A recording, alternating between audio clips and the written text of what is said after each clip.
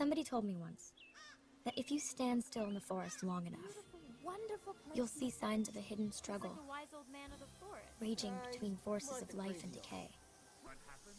That the survival of the forest itself depends on the outcome, and that the good guys need all the help they can get.